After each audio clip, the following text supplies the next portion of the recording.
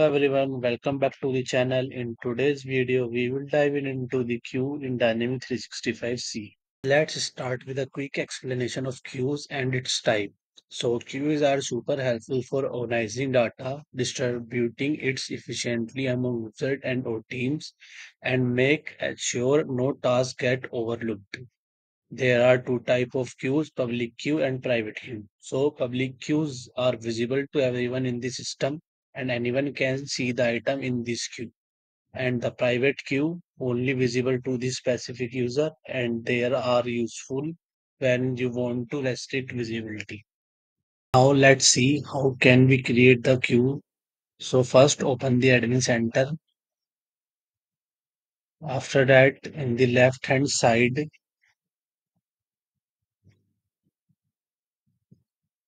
In customer support, you can see the option of queues, click on it and then click on basic queue. Then in the ribbon, click on new. Now create the new queue. Name it like I am giving the name demo queue. And here you can select the type public or private. So first I am creating the public queue. So select the public and you can also fill this according to your need. Now save it.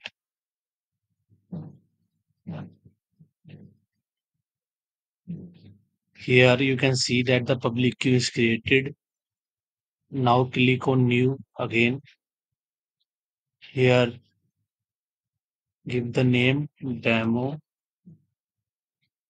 queue 2 and select the type private and enter the email according to your need and also fill all these detail if you want to fill. Now save and close it.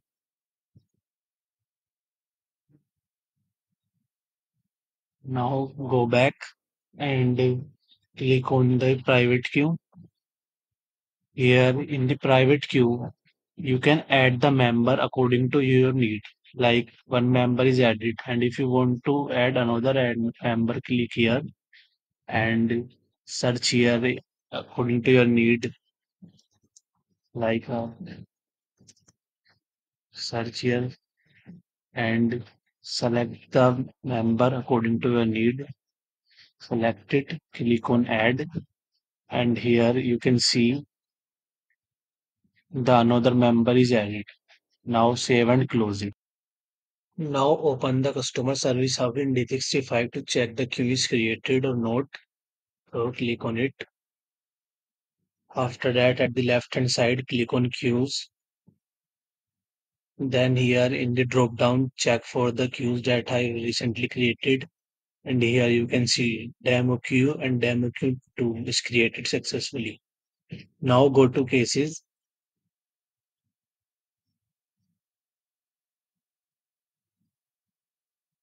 After that, here click on new case, then create a case like for faulty product, select the customer. Now save it.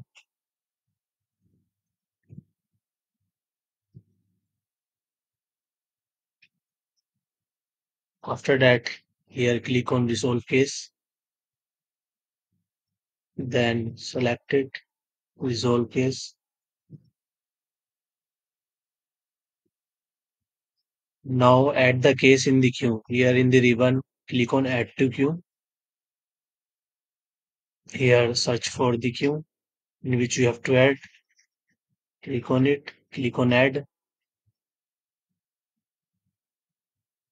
Now again go to the queues and here search for the queue in which you add the case like demo queue 2 and here you can see that the case is added in the queue. And if you click on the case hmm. then here you can pick the case release remove according to your need. Thanks for watching. In this video we have covered different type of queues and how to create them. I hope you found this video helpful and if you have any question feel free to ask. Thank you